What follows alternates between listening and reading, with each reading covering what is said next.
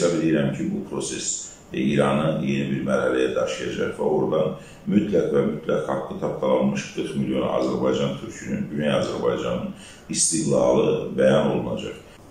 Dəyərli izləyicilər, Kanal 13 efirindən sizləri salamlayıram. Efirdə mən Şamimin sizinləyəm. Qonağım isə Ümid Partiyasının sədri İqbal Ağazadədir. İqbal bəy, xoş gördük sizi. Xoş gördük.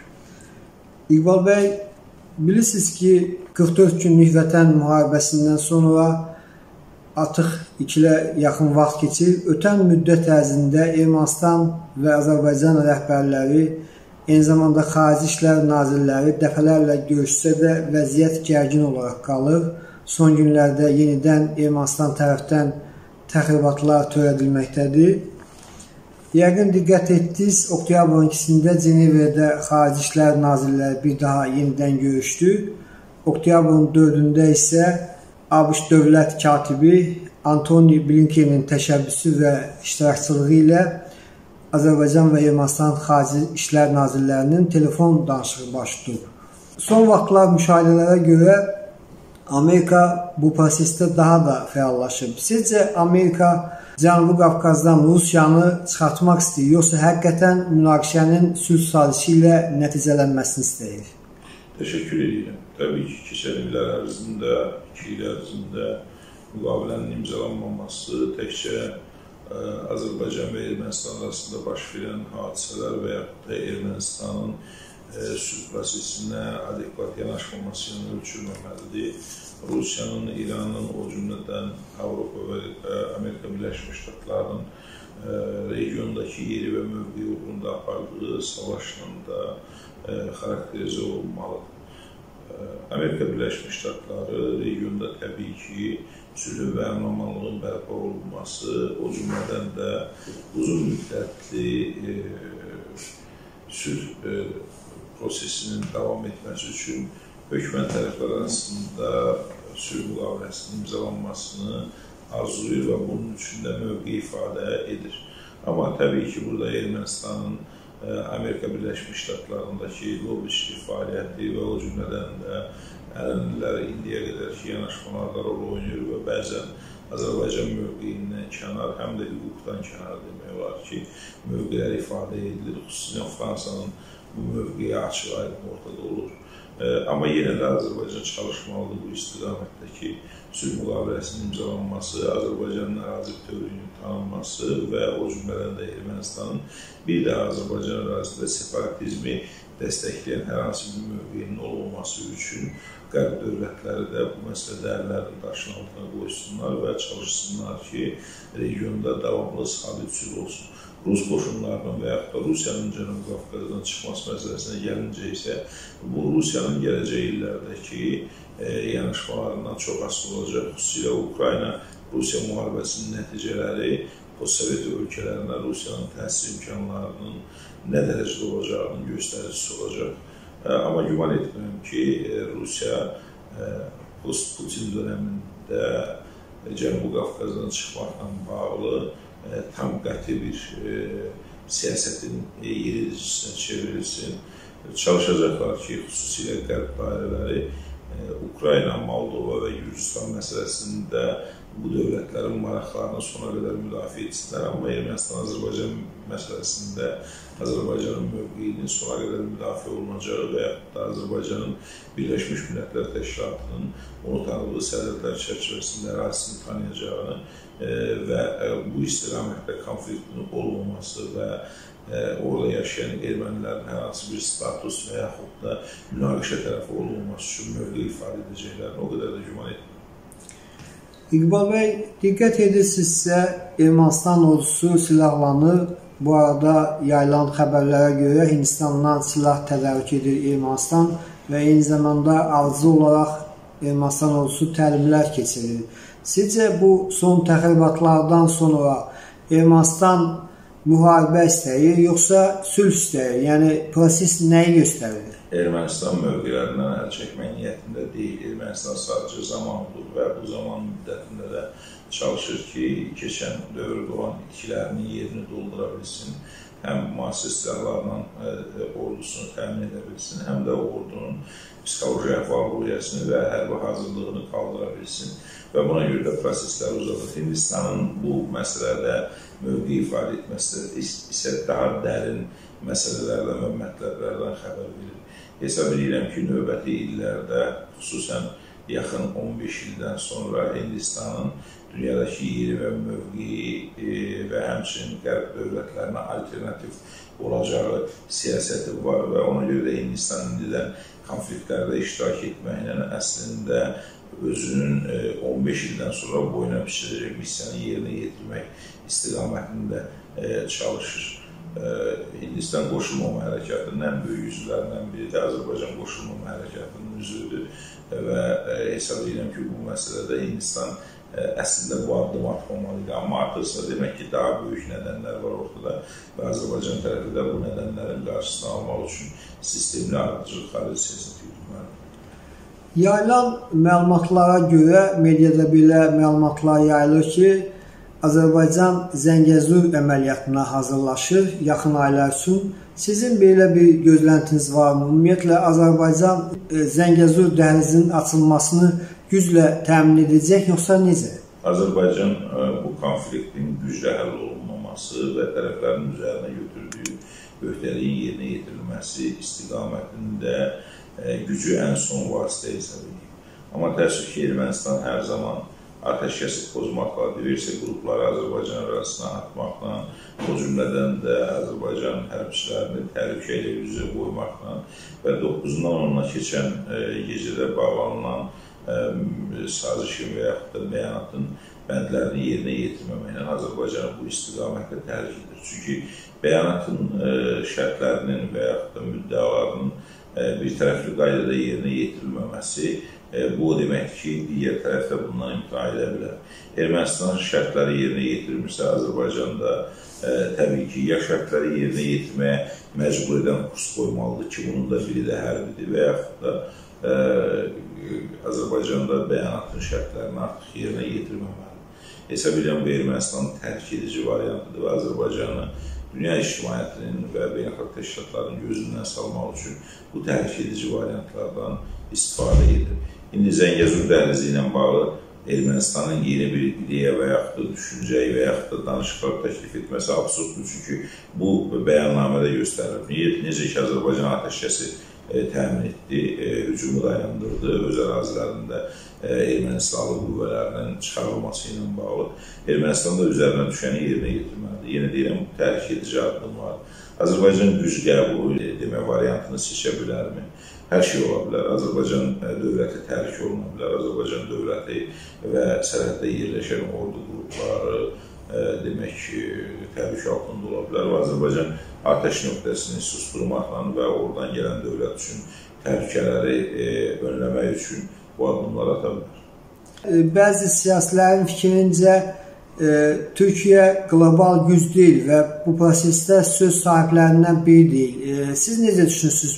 Türkiyənin dünyadakı mövqeyi və gücü bu prosesdə hadisələrə necə təsir edə bilər? Azərbaycan harada varsa və danışıqların, o cümlədən problemlərin bir tərəf Azərbaycansa, orada Türkiyənin olması labiddir və Türkiyənin də təsir imkanları genişdir. Çünki Azərbaycan və Türkiyə xarici siyasət sahəsində ortaq mövqe sərgiləməyə artıq neçə illərdir ki, dünyaya bir daha sübut edib. Ona görə də Türkiyənin bu məsələlərdə təsir imkanları genişdir və mən Türkiyə ilə Ermənistanın da birbaşa əlaqələr və münasibətlər sistemində yeni mərhələnin açılmasının tərəfdarıyam. Hesab edirəm ki, uzun illərdir dediyim Cənubi Qafqazda Rusiyanın dominantlığına son qoymaq üçün Türkiyə kimi bir dövlətində e, Cənubi Qafqazdakı ölkələrlə istər Ermənistan, istər Gürcüstan, istər Azərbaycanla yeni münasibətlər sistemi bölgəyə sülh və əmin-amanlıq gətirəcək. Hesab edirəm bunun fərqindədirlər, dünya da bunun fərqindədir. Amma Türkiyənin artan nüfuzu və yaxud da bölgədə siyasətə təsir imkanlarının az olması naminə hər zaman çalışırlar ki, bu məsələlərdə Türkiyəni kənarda saxlasınlar və Türkiyənin müdaxiləsini əslində tərəfli müdaxilə hesab edirlər. Hesab edirlər ki, Azərbaycan mövqeyindən çıxış edir, amma Azərbaycan mövqeyi dünyada hüquqi mövqeyidir. Azərbaycan işğalçı və yaxud da ilhaqçı dövlət deyil. Azərbaycan heç bir ölkənin ərazisinə iddia etmir və Azərbaycan 1994-cü ilin 12 mayından ta 2020-ci ilin 10 noyabrına qədər torpaqlarının böyük bir qismi, o cümlədən pozulmuş dövlət sərhədləri var idi. Torpaqlar da işğal altında idi. Azərbaycan bu işğaldan azad olunma və dövlət sərhədlərinin bərpası istiqamətində əks hücum əməliyyatı keçirdi. Dünya isə çox təəssüflər olsun ki, bunu Ermənistan, Azərbaycan və yaxud da e, orada yaşayan erməni az e, saylı etnik qrupun e, haqlarına və hüquqlarına müdafiə kimi e, dəyərləndirdi və sülhün və barışın gəlməsi üçün ciddi bir addım atdı. İqbal bəy, İranda baş verən prosesləri necə dəyərləndirirsiniz? Maraqlıdır. Bu İranda baş verən hadisələrlə bağlı İran şahı Məhəmməd Rıza Pəhləvinin oğlu Rıza Pəhləvi açıqlama verib ki, bu ə, e, hadisələr İranda inqilabdır.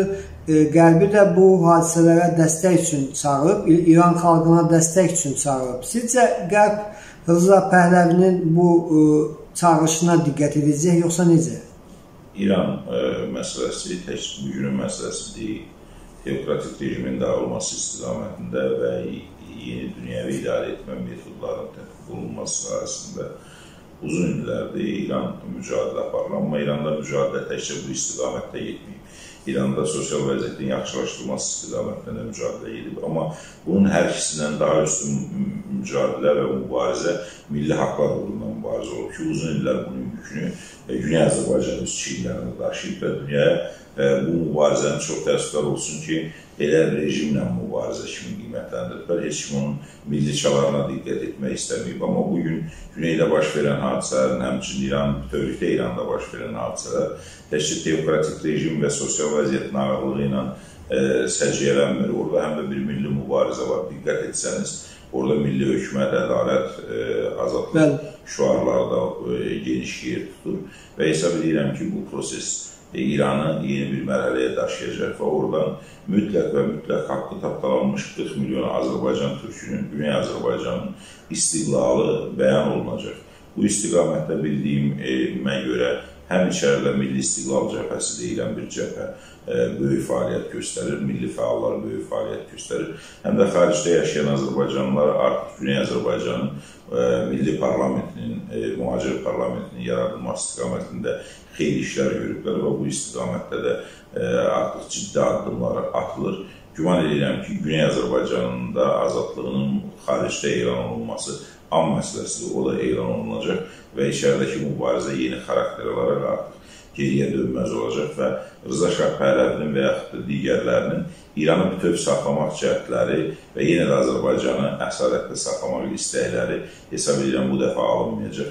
Çünki istər 1905-11, istər 1918-20 Səttarxan Şeyx Xiyabani və yaxud da 45 xalq pişəvəri hərəkatı dönəmində Azərbaycanın ə, e, mübarizəsini qan içində boğanlar e, 21-ci əsr dünyasının tələb və ə, e, istəklərinə fərqli yerdən yanaşacaqlar və 40 milyon Azərbaycan türkünün haqqına da girə bilməyəcəklər. İran mütləq dəyişəcək və parçalanacaq. Ancaq sizdən fərqli olaraq bəzi siyasətçilər qeyd edirlər ki, hazırki bu ixtişaşları İran rejimi boğacaq, e, nəticəyə hələ ki bir şey gözlənilmir. Çox ə, e, pessimist yanaşmaq istəmirəm. İnqilabi proseslər və dəyişikliklər bir mərhələ ilə səciyyələnmir. E, mərhələlər olacaq və ə, mən yekunu nəticəni dedim hökmən o bu gün olacaq və yaxud da sabah olacaq deyə bir mövqe ifadə etmək istəmirəm. Amma bu mütləq olacaq, çünki proses buna doğru gedir. Teokratik rejimə qarşı mübarizə aparan xalq bundan sonra sosial vəziyyətin və milli haqlarının verilməsi istiqamətində meydanlara çıxacaq. Siz də bilirsiniz ki, bütün bu tipli e, etirazlardan sonra hökmən sosial vəziyyətin bir daha ağırlaşması baş verir. Və əgər bugün teokratik rejimin dəyişməsi istiqamətində əhalinin %70-i e, və onun da içərisində %30-u təxminən aktiv mübarizə sərgiləyirsə, e, sosial vəziyyətin ağırlığı istiqamətində proses başlayanda artıq əhalinin böyük əksəriyyəti meydanlarda olacaq. Və onda da hə, hökmən e, artıq keçmiş SSR-nin taliyini yaşamağa doğru ciddi bir addım atacaq. SSR də belə başlamışdı və orada da aşkarlıq, demokratiya, yenidən qurma kimi şüarlarla, yəni yeni yanaşma və idarə etmə metodlarının tətbiq olunması ilə bağlı ortaya çıxdılar. Sonra sosial vəziyyətin və milli haqların qorunması istiqamətində insanların tələbləri və nəticədə SSR-in dağılması və müstəqil dövlətlərin yaranması prosesi getdi. İran da bütün imperiya kimi bu cür dağılacaq.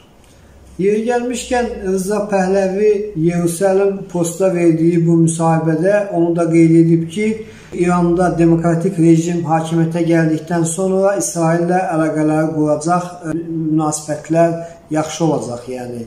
Sizcə bu açıq mesajdan sonra İsrail İrana, e, yəni e, Rıza Pəhləviyə dəstək verə bilərmi İranda hakimiyyətin dəyişilməsi üçün? Təbii ki, e, Rıza Şah Pəhləviyə e, verilə biləcək dəstəkdən daha çox Azərbaycan-İsrail münasibətləri və tarix Azərbaycan-Yəhudi dostluğu və Azərbaycan türklərinin Yəhudi münasibətləri daha qədim və daha istidir. Əgər orada Güney Azərbaycanın istiqlalı məsələsi olsa, İsrail mütləq Azərbaycanın istiqlalının yanında olacaq, nəinki yeni bir fars rejiminin yaranması. İqbal bəy, e, mövzudan kənar da olsa bir məsələyə diqqət çəkməni istərdim. Yəqin izlədiniz sosial şəbəkədə, mediada 112 saylı məktəbdə bir şagird digərini çox amansızca döyübdür.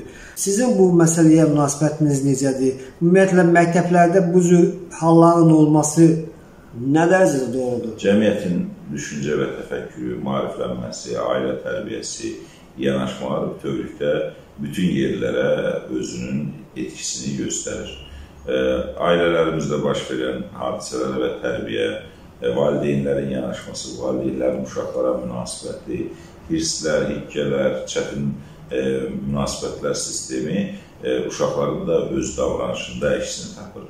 O uşağın məktəbdə o cür aqressivcəsinə bir həm yaşıdına və yaxud da sinif yoldaşına yanaşmasını köklərini doğru araşdırmalıdır pedaqoqlar və psixoloqlar.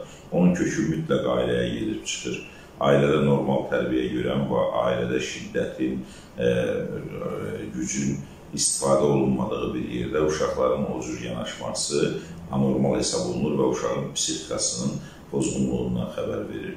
Mən güman edirəm ki, daha ciddi e, şəkildə tərbiyə üsulları e, seçilməlidir ailədə və nə qədər ki, cəmiyyətimizdə ailələrdə şiddət var, nə qədər o şiddət bu qədər e, efirlərdən, sosial şəbəkələrdən e, tirajlanır, insanlara çatdırılır. İnsanları çox təəssüf ki, tərbiyə etmək biraz çətin olur. Ona görə də uşaqlarımızı evimizdə, ailəmizdə düzgün tərbiyə etməliyik ki, onlar məktəbdə özünü bu cür aparmasına.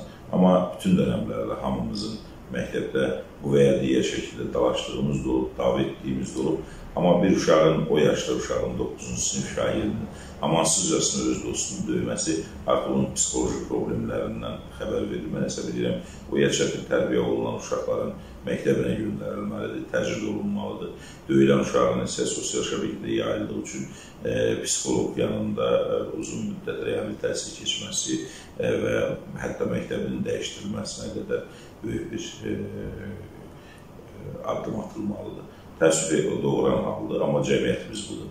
Ailələrimizdə var bu şiddət, hər gün işidirik. E, küçələrimizdə var, ritorikamızda bu şiddət var, ritorikamızda bu güc var. Vətəndaş e, hakimiyyət münasibətlərində e, ritorikasında bu güc var və sonunda məktəbdə də olması e, çox təəssüf ki, təəccüb doğurmamalıdır. Çünki bütün cəmiyyətin bütün halı belədir. Çox sağ olun Qübal bəy, təşəkkür edirəm. Təşəkkür edirəm.